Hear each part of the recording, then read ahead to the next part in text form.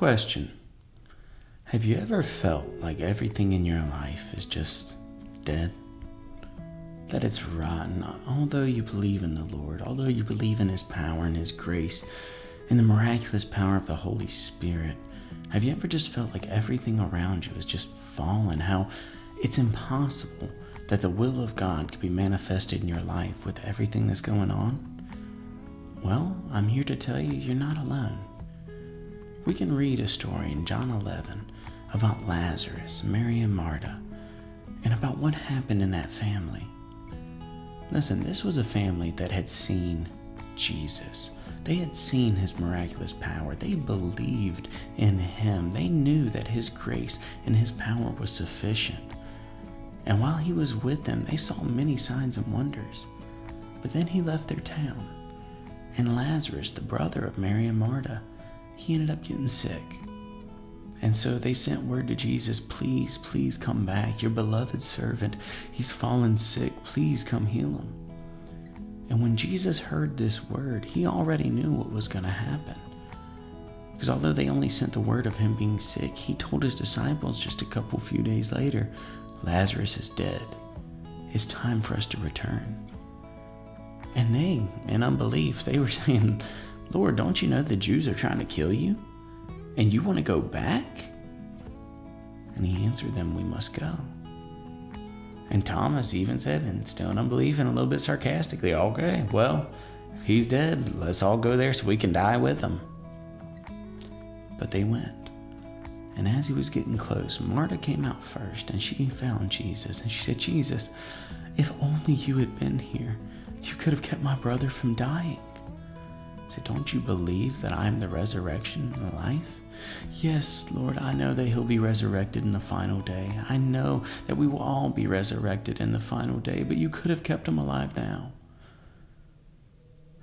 You don't understand. So then she returned and she grabbed Mary, the one who had anointed Jesus' feet.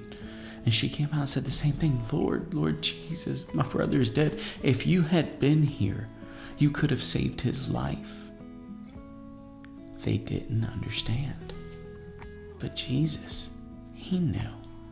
He had already known that Lazarus was going to die, even though he had only received word that he was sick. He knew what had to take place for the purpose and glory of God to be manifested.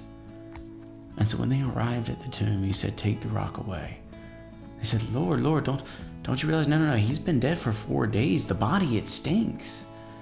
You know, it's, it's removed the rock.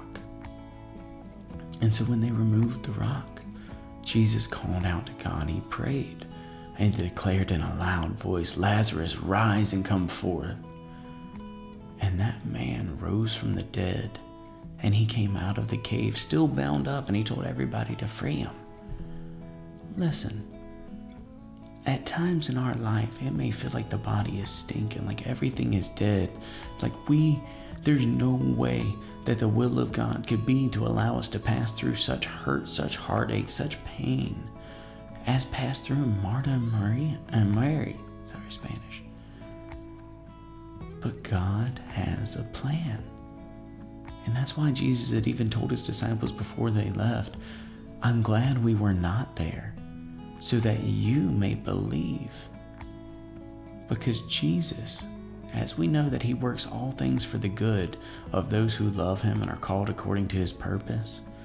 Although we may not understand His power, they were looking in the limited light, even though they had seen this man working miracles, they still could not see beyond the limitations of the natural.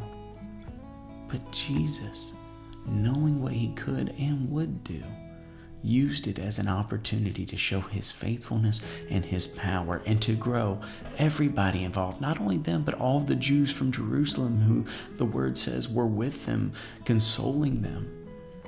It was an example for them and for us that his faithfulness is satisfactory, his faithfulness is enough, and that he has a plan for all things.